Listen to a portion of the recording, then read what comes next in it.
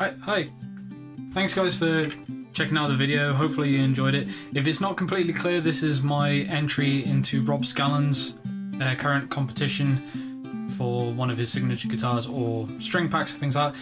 If anyone is watching this and there's still time, I'm hoping to get that, this up today. It's Friday today. Uh, the competition is still open until Monday the 23rd. So if anyone else wants to record their own version of the riffs that he's given and enter yourself, And you can do. There's going to be a link in the description for the original video so you can actually get caught up on exactly what this is all about.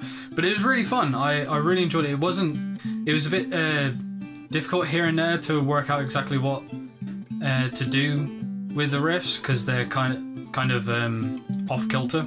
I know my version of it uh, isn't like hugely masterful and skillful technical playing or anything like that.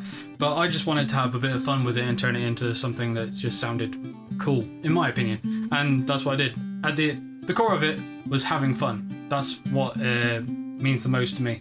And it was a lot of fun to just do this. So thank you, Rob, for putting this on. Hopefully you guys enjoyed it.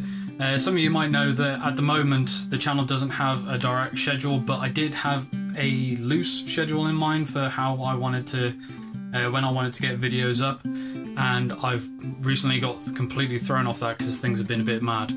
So there was meant to be a cover go up uh, yesterday, Thursday, but that kind of went out the window with a few other things that I was doing, including the vlog that went up and this. So the cover that I was working on, I'm going to keep that on the back burner for the moment, and that will come out a bit later because I'm next going to be working on a cover for um, a kind of special event thing. There's something coming up in a few weeks' time, and I'm I'm doing something particular to that. But yeah, once again, thank you guys for coming and checking out. Hope you enjoy it. Leave a like if you do. Feel free to leave a comment about your thoughts on this or any other covers um, that you want to see on the channel, any kind of topics you may want to see me talking about.